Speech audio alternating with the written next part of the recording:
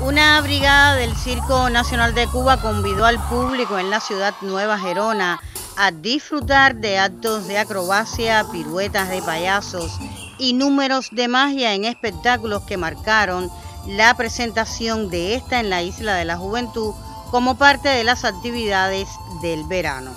Del Circo Soy da nombre a las presentaciones que llegaron también a la fe para mostrar atenciones de equilibrios, manejos del fuego con aros, equilibrio con zancos y los legendarios payasos, entre otros divertimentos que marcaron el programa de presentaciones aquí. Nosotros estamos súper contentos porque primero que nos hayan vuelto a invitar, ¿ves? O sea, que han contado con nosotros, han confiado en el talento o en, la, la, disposición, en, este caso, de que nos gusta lo que hacemos y que, nos, y que estemos aquí de vuelta para nosotros es un gusto, ¿ves? Es una satisfacción.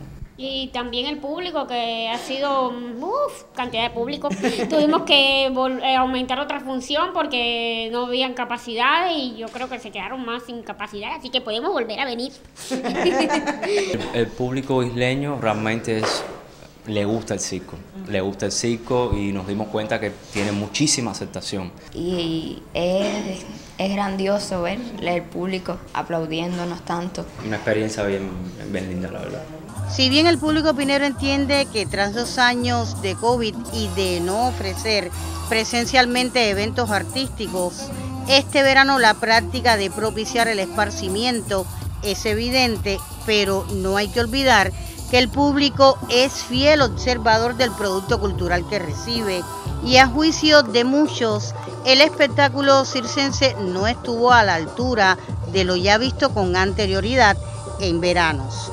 Como que viene faltando esa concepción de que cuando se dice circo, todos pensamos en despliegues de números acrobáticos desde las alturas o no, actos de magia deslumbrantes y lo que no debe faltar, y tiempo atrás los pineros vieron, animales, aunque pequeños, que hagan sus evoluciones con destreza.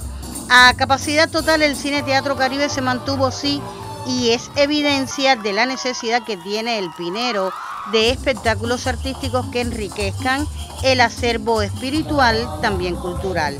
La intención es clara.